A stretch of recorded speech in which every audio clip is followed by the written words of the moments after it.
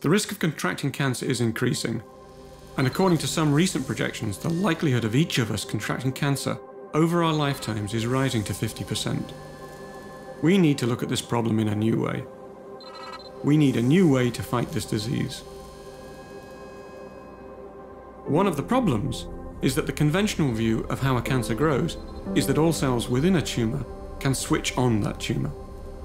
However, when you look closely at a tumour, you realise that not all cells are the same, and that some cells are more aggressive than others.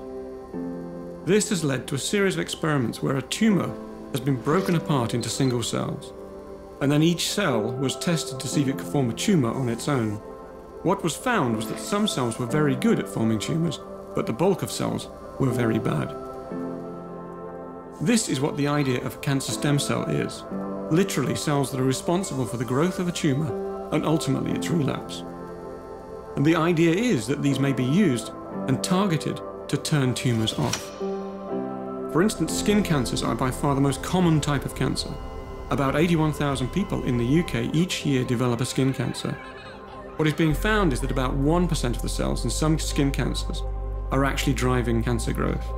If we could work out what makes these cells tick, then we could target therapies that switch off these cells and cure this particular type of cancer for good.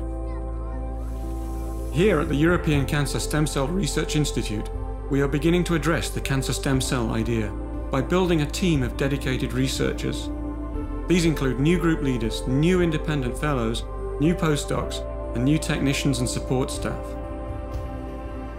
We also massively benefit from the support of our patron, Sir Terry Matthews, and the scientific advisors he's been able to bring on board, including Neil Kinnock and Jean Chrétien. To house this team, we have built a brand new state-of-the-art facility, the Hadyn Ellis Building, which not only brings the team into one fantastic space to foster and nurture new interactions and collaborations, but will also allow us to grow over the coming years to deliver on the promise of the cancer stem cell idea.